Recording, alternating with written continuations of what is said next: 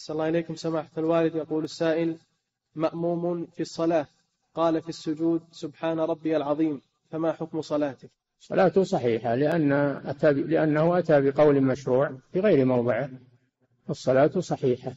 نعم.